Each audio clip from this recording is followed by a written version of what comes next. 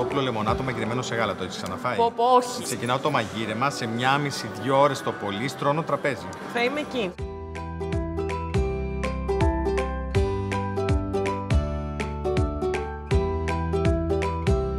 Φοράμε πάντα γάντια όταν έχουμε να δουλέψουμε το κοτόπουλο, γιατί το κοτόπουλο μπορεί να έχει σαλμονέλα. Οπότε καλό είναι να προστατεύσουμε τα χέρια μας και γενικά όλα τα υπόλοιπα σκεύη της κουζίνας. Και επίσης κάτι άλλο σημαντικό για το κοτόπουλο είναι το κοτόπουλο ποτέ δεν το πλένουμε. Γιατί όταν το βάλουμε κάτω από τη βρύση, αν υπάρχει κάποιο πρόβλημα ή σαλμονέλα με το κοτόπουλο, θα πεταχτεί παντού σε όλη την επιφάνεια της κουζίνας. Οπότε όταν έχουμε να διαχειριστούμε κοτόπουλο, φοράμε γάντια και δεν το πλένουμε ποτέ. Αυτό που έχω να κάνω πρώτα είναι να το κάνω να το νοστιμεύσω. Πώς θα γίνει αυτό, Θα βάλω μπόλικο, αλάτι και πιπέρι. Αλλά στο εσωτερικό του κοτόπουλου. Μέσα. Μπόλικο, αλάτι και πιπέρι. Δεν θέλω τσιγκουνιέ να πάει παντού. Βάζω μέσα γιατί όταν ψήνεται το κοτόπουλο, ό,τι υγρασία έχει προς τα μέσα θα βγει προς τα έξω. Οπότε θα νοστιμεύσει ειδικά αυτό το μέρος του κοτόπουλου που είναι το στήθος, που είναι συνήθως το πιο άνοστο και το πιο στεγνό. Το γεμίζω με λαχανικά με έξτρα γεύση και έξτρα υγρασία και μισό λεμόνι. Όταν σοτάρουμε το κοτόπουλο, κάνουμε ακόμα πιο τραγανή την πέτσα του και πιο εύγεστη. Αυτό κάνουμε ουσιαστικά. Το κοτόπουλο, επειδή είναι στην κατηγορία των λευκών κρεάτων, είναι ένα ουδέτερο κρέας, το οποίο μπορούμε να βάλουμε ό,τι μπαχαρικά μας αρέσουν. Και πιο πικάντικα μπαχαρικά, αλλά και μπαχαρικά το οποίο έχουν περισσότερο άρωμα. Εγώ εδώ επιλέγω μαραθόσπορο, ο οποίος έχει ένα χαρακτηριστικό άρωμα που ταιριάζει πάρα πολύ και ταιριάζει και πάρα πολύ με το λεμόνι και τη ρίγανη. Δύο βασικά αρωματικά που θα βάλω μέσα στη συνταγή. Το γάλα τι κάνει, το κάνει ακόμα πιο τρυφερό. Μετά από μια μισή με δύο ώρες ψησίματος, το γάλα θα έρθει και θα ποτίσει το κοτόπουλο, θα το κάνει πάρα πολύ τρυφερό και πάρα πάρα πάρα πολύ ζουμερό. Ούτως ή άλλως το κοτόπουλο σιγομαγειρεύεται αρκετή ώρα, οπότε έρχεται το γάλα και δένει, πίζει, γίνεται σαν, σαν γιαούρτι μες στην κατσαρόλα. Θα το δούμε και στο τέλος του μαγειρέματος.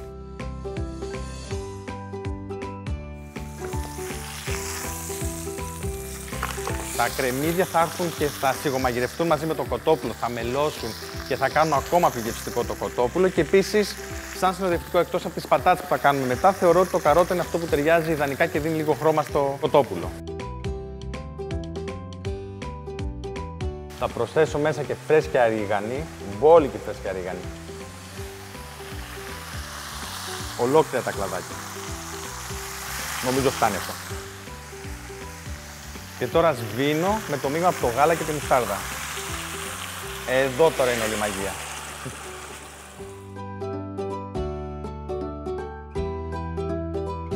Έχω προθερμάνει το φούρνο στους 180 με 200 βαθμούς Έχω και έγχρωμη οθόνη αφής.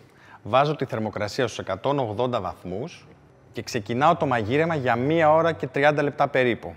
Μετά από μία μισή ώρα ανοίγω το καπάκι της γάστρας και συνεχίζω το μαγείρεμα για άλλα 30 λεπτά έτσι ώστε να έχω ωραίο ροδοκοκκινισμένο κοτόπουλο με τραγανή πέτσα. Ανυπομονώ. Έχω βράσει τις πατάτες νεαρές πατάτες ή αλλιώς baby πατάτες σε μπόλικο αλατσμένο νερό για 10 με 15 λεπτά. Δεν χρειάζεται παραπάνω. Θέλω ίσα ίσα να μαλακώσουν και να μπορώ με το χέρι μου να τις πιέσω και να σπάσουν. Αυτό.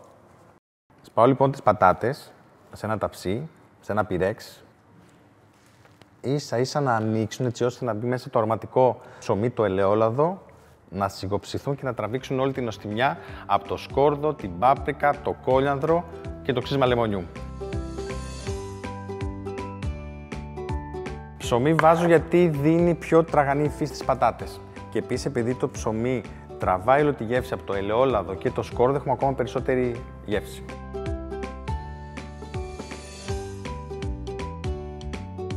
Θεωρώ ότι από τις καλύτερες ποικιλίες που μπορούμε να διαλέξουμε πατάτες, αλλά αυτό έχει να κάνει με την εποχικότητα. Είναι Κύπρου, είναι, ε, είναι Ευρωκοπίου, είναι βεβαίως συνάξου. Κάθε μια έχει τη δική της ποικιλία και καλό είναι να γνωρίζουμε πότε χρησιμοποιούμε την κάθε μία. Άλλη πατάτα είναι για βράσιμο, άλλη πατάτα είναι για ψήσιμο, άλλη είναι για τηγάνιμα. Σε αυτή τη συνταγή όμως, επειδή έχω τις ε, baby πατάτες, μπορώ να τις βρίσκουμε καθ' όλη τη διάρκεια του χρόνου που είναι πάντα νόστιμες και κάνουν μια χαρά για πατάτες ψητές στο φούρνο.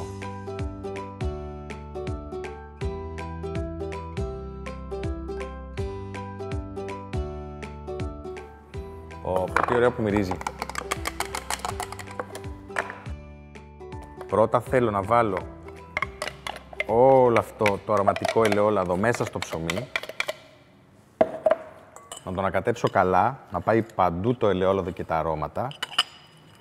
Ναι, οι ρίγανοι και γενικά τα αρωματικά θέλουν προσοχή στο μαγείρεμα. Θέλει να βάλουμε τόσο όσο να πάρουμε τα αρώματά τους. Αν βάλουμε μεγάλη ποσότητα από ρίγανη, δυστυχώς θα πικρίσει το φαγητό. Οπότε θέλουμε ένα-δυο κλωναράκια, καλή ώρα όπως έχω εδώ. Και πασπαλίζω με αυτό το μείγμα τις πατάτες. Από ό,τι βλέπετε δεν βάζω καθόλου νερό, δεν χρειάζεται νερό για αυτή τη συνταγή. Τις ανακατεύω καλά, να πάει παντού το αρωματικό ψωμί και ψήνω για 30 λεπτά μαζί με το κοτόπουλο μέχρι να ροδίσουν οι πατάτες και να γίνουν τραγανές.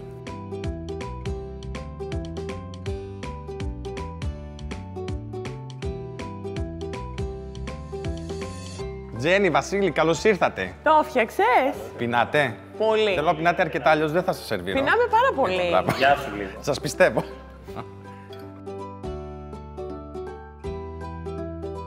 Ποιο είναι το αγαπημένο σου φαγητό, Εμένα μακαρόνια με κρέας. Τύπου κοκκινιστό, ε. Θα το φτιάξω εδώ στην κουζίνα, να ξέρεις. Είναι πολύ Ε, να ωραίο. ξέρεις, θα έρθω. Είμαι σίγουρος. Μια πόρτα είμαστε τους ή άλλους. Έλαντε. το φαγητό, παιδιά, είναι απόλαυση, οπότε νομίζω δεν υπάρχει καλύτερο πράγμα από το να το απολαμβάνεις με, με καλούς φίλους, με, με καινούριες νοημίε. Σωστά. Η πιο πρωτότυπη συνταγή που έχεις συναντήσει, που έχεις μαγειρέψει, μάλλον με κοτόπουλο. Δεν θα σου πω ποια έχω μαγειρέψει. Θα σου πω ότι πριν 3-4 χρόνια που είχα πάει στη Βραζιλία, γενικά είναι μια πολύ διαφορετική χώρα, έχει διαφορετικά υλικά, αλλά θεωρώ ότι το κοτόπουλο που έχω δοκιμάσει εκεί θα μου μείνει μ, αξέχαστο γιατί ήταν μαγειρεμένο με πολλά εξωτικά φρούτα, κυρίως μάγκο και πάσιο φρούτο, οπότε ήταν μια πολύ διαφορετική και καινούρια γεύση για μένα. Σίγουρα δεν είναι κάτι που ταιριάζει στη δική μας ε, κουλτούρα, αλλά σίγουρα είναι κάτι που θα μου μείνει, θα μου μείνει αξέχαστο. Εγώ θα περιμένω πάντως να το φτιάξεις και να το φέρεις να το Το δοκιμάσει. θες, ε; Το θες. Ωραία. Γιατί όχι. Θα σου φτιάξω παστίτσιο. Καλά, φυσικά. Εσύ πόσα φαγητά έχεις ζητήσει; Θα σου κάνω πια; διαφορετικό παστίτσιο Εύκολο. όμως. Θα σου το κάνω στο τηγάνι, που είναι πιο εύκολο και πιο γρήγορο. γίνεται Ε, θα έρθει εδώ μια μέρα να το κάνουμε μαζί. Θα Όχι, έρθεις. να του Εδώ δώσεις είμαι. τη Θα συνταγή. έρθεις να να την μαγειρέψουμε κάνει. μαζί. Φυσικά. Τέλεια, ωραία. Είναι deal. Ωραία, Το έκλεισε. επόμενο επεισόδιο θα κάνουμε παστίτσιο στο τηγάνι. Ωραία, μην τυχόν και με ξεχάσεις.